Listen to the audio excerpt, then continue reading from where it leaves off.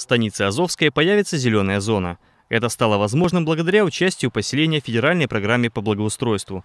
В ближайшем будущем парк в честь 75-й годовщины Победы станет одним из излюбленных мест отдыха для жителей станицы от мала до велика.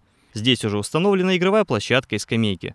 Ровно год назад, когда только мы узнали, что есть такая программа «Комфортная среда», что деньги выдел- выделяет Российская Федерация э, лично под патронажем нашего президента Владимира Владимировича Путина, наша администрация э, начала все делать, чтобы э, участвовать в этой программе.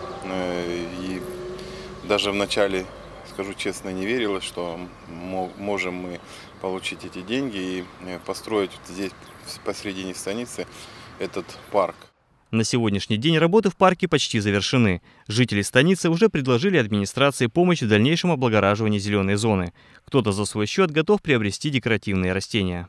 Каждый станичник рад, что вот э, на этом пустыре э, заброшенном сейчас вот такой парк. Мы его еще будем дорабатывать, еще будем подсаживать деревья, сделаем ограждение такое маленькое, чтобы это было ну, замкнутое пространство, чтобы, не дай бог, ребенок никуда не выбежал. И это будет наша зона отдыха. На территории парка также будет установлена спортивная площадка, купленная на спонсорские деньги. Пока парк закрыт для посещения. Его официальное открытие состоится после снятия карантина.